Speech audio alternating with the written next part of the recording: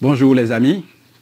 Aujourd'hui, on va parler, je vais vous parler de... Vous connaissez ma phrase, ma phrase très célèbre qui est « Si tu ne lis pas, tu n'es pas en train de réussir ». Donc, c'est de cela qu'on va parler aujourd'hui. On va parler de lecture. Lecture. Mais avant de partir, comme vous le savez, il faut nous donner le temps pour nous dire que vous aimez la vidéo. Partagez cette vidéo autour de vous. Posez des questions en commentaire comme les autres le font d'habitude. Merci à tous les anciens qui suivent sur la page. Et merci aussi à tous les nouveaux venus. Donc, comme je l'ai dit, aujourd'hui, on va parler de lecture. Ceux qui me suivent sur les différentes pages savent que j'ai une phrase célèbre. Je dis, si tu ne lis pas, tu n'es pas en train de réussir. Donc, on va aller sur la base de cette lecture-là aujourd'hui. D'abord, je vais vous présenter les ouvrages que j'ai lus en cette année 2022. Je vais vous présenter ces ouvrages-là. Et après, je vais parler de l'importance de la lecture dans ma vie personnelle. Et en troisième position maintenant, parler de l'importance même de la lecture en général sur les hommes. Voilà, donc sans plus tarder, on va partir sur le premier volet, c'est-à-dire je vais d'abord vous présenter les ouvrages. Allons-y maintenant.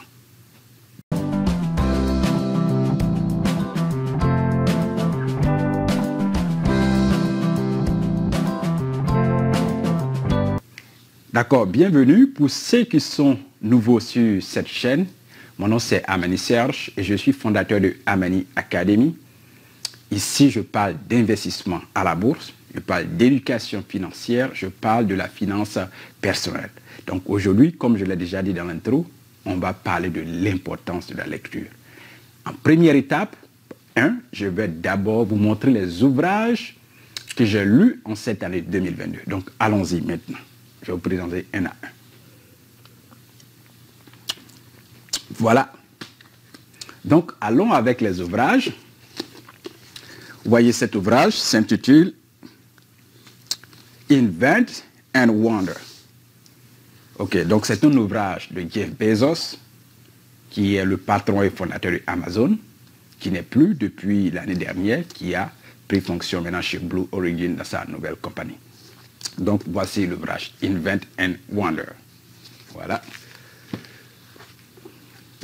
Vous avez cet ouvrage-là aussi qui est I Will Teach You to Be Rich. Voilà, qui est de l'auteur. C'est Sethi, qui est d'origine, euh, Ramit Sethi, qui est d'origine indienne. Voilà, c'est un très bel ouvrage. Et euh, à lire cet ouvrage-là, vraiment, c'est magnifique. Le prochain ouvrage, c'est The Wealth of Nations. The Wealth of Nations, cet ouvrage, je l'adore beaucoup, qui est de Adam Smith. Cet ouvrage-là, c'est la base même de l'économie mondiale. La base de l'économie mondiale. Comment est-ce que l'économie évolue et comment est-ce que les gens sont partis même jusqu'à la création de la monnaie, l'origine. Comment les gens travaillaient dans le temps où il n'y avait pas d'argent jusqu'à ce qu'on arrive à la création de la monnaie, jusqu'à ce qu'on arrive aujourd'hui à ce qu'on connaît dans l'économie. Et certains pays sont basés sur des systèmes économiques. Tout cela vient de cet ouvrage-là. Le prochain ouvrage, c'est Zero to One. Zero to One, qui est un ouvrage de Peter Thiel et qui est dans le domaine de l'entrepreneuriat. Vraiment, euh, il y a beaucoup de thèmes qui développent dans cet ouvrage-là. Oui, oui, je l'adore. Le prochain, c'est euh, Financial Freedom. Financial Freedom qui parle de l'immobilier en général, l'investissement dans l'immobilier. Cet ouvrage, c'est de Michael Blank, voilà, qui est très, très enrichissant. Le prochain, vous avez euh, Atomic Habit. Tous ces ouvrages sont en anglais. Excusez-moi si vous ne pouvez pas lire en anglais. Et c'est que particulièrement tous ceux qui ont fait le lycée ou qui ont fait le secondaire peuvent lire en anglais. Donc tous ces ouvrages, vous pouvez aussi trouver les traductions en français ou en anglais ou dans d'autres langues, bien sûr. Voilà. Mais ce que je vous présente là, ce sont des ouvrages en anglais. Voilà. Donc Atomic Habit, qui parle des comportements, qu'est-ce qu'il faut adopter dans vos changements d'habitude pour pouvoir devenir vraiment une personne hors norme, une personne de qualité et une personne qui fait ce qu'il dit et qui accomplit ses tâches régulièrement pour devenir une meilleure personne, surtout dans nos habitudes,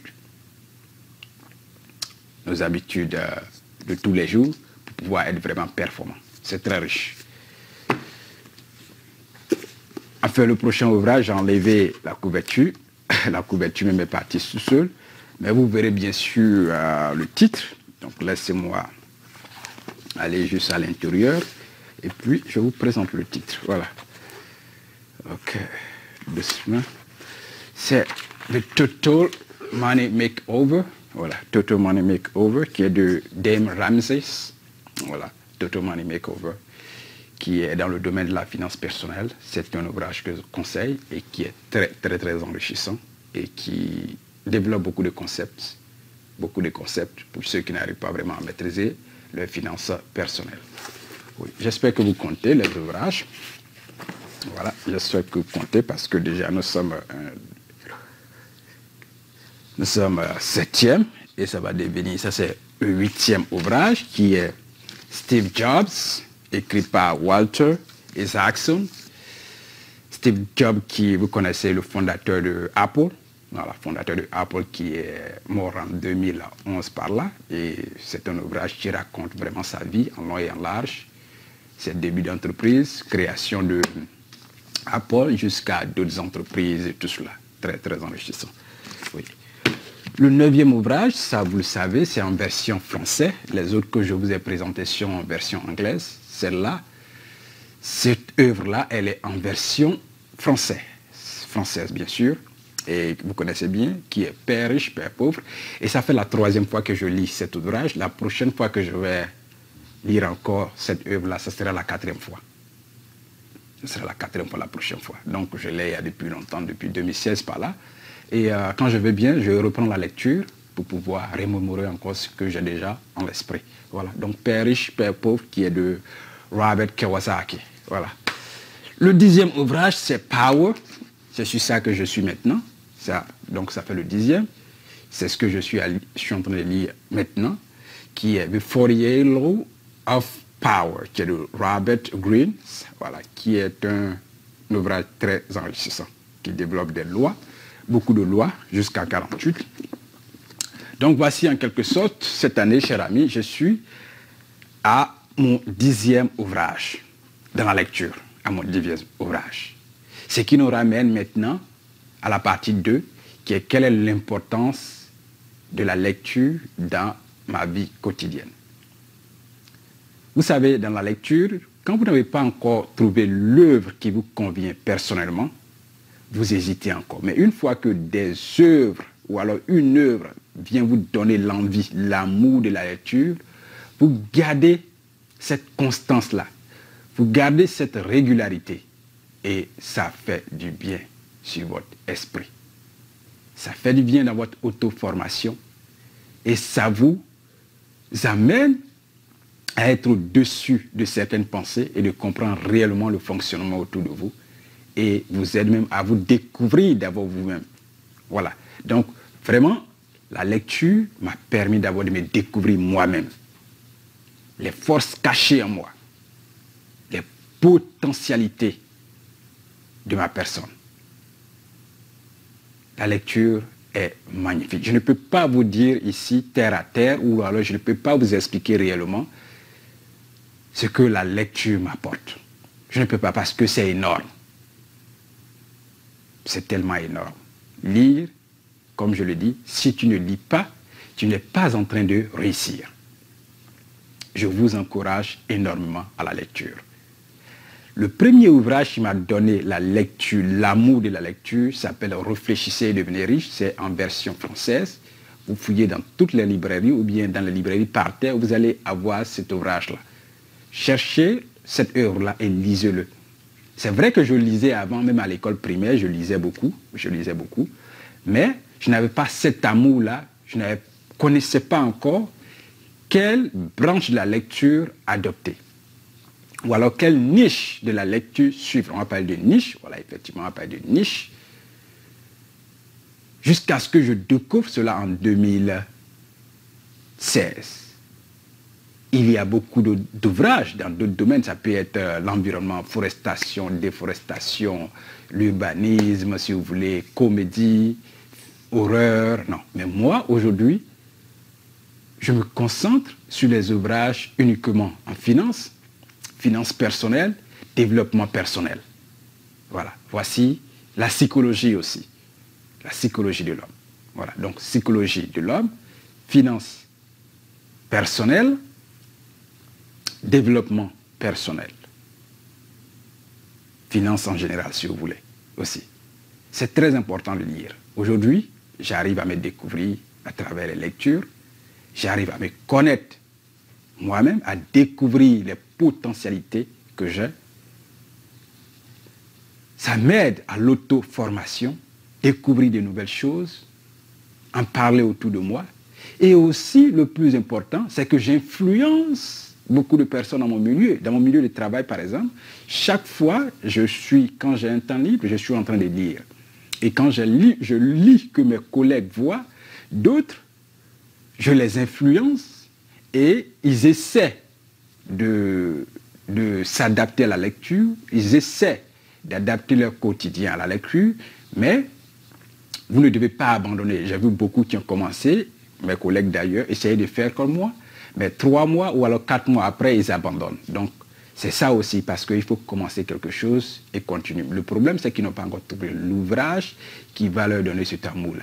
Moi, depuis que j'ai trouvé l'ouvrage qui m'a donné l'amour de la lecture, aujourd'hui, je ne peux plus arrêter la lecture parce que la lecture, c'est tout pour moi. Oui. Oui. Donc, le plus grand bénéfice de la lecture, c'est que j'influence aujourd'hui dans mon milieu beaucoup de mes jeunes collègues. Ça donne à la lecture. Je vois de temps en temps des ouvrages, les ouvrages que je lis, puisque quand ils me demandent, je leur donne des conseils dans ce sens. Je vois des ouvrages que, je lis avec eux. Et ce que je fais le plus souvent, souvent je peux acheter trois, deux ouvrages pour faire des cadeaux à certains collègues ou alors à des personnes que je connais. Je fais cela le plus souvent.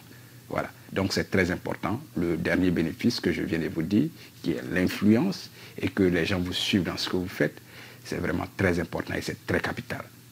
Maintenant, sortons de là, partons sur le point 3 qui est en général, quelle est l'importance de la lecture de manière générale sur les individus? Vraiment, je ne peux pas vous expliquer parce que vous connaissez déjà l'importance de la lecture. La lecture, d'abord, c'est l'auto-formation. c'est l'auto-formation. C'est l'auto-formation, votre auto-formation. La lecture, c'est des gens qui ont conçu des plans, qui ont fait des choses, qui ont réussi et qui développent cela à travers leurs écrits. Donc c'est un apprentissage. Aller au contact du livre, c'est un apprentissage personnel pour vous-même. Pour vous-même. C'est découvrir le monde. Lire, c'est découvrir le monde. Découvrir notre planète. Découvrir notre potentialité personnelle c'est aller au contact de la culture des autres. C'est ça la lecture. Si je veux commencer à citer ici l'importance de la lecture en général, je ne vais pas finir cette vidéo. Oui, donc chers amis, lisez, je vous encourage à lire.